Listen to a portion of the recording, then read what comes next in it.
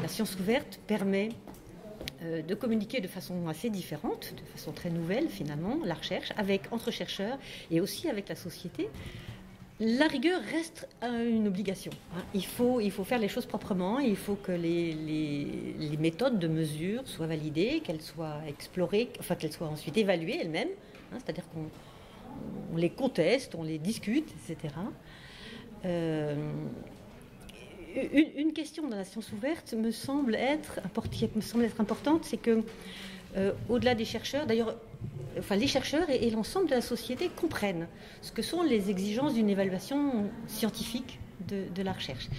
Parce que c'est vrai qu'il y a beaucoup d'expressions qui se font sur des tas de choses. Et il est important qu'on distingue dans ces avis ceux qui sont scientifiquement fondés et ceux qui ne le sont pas.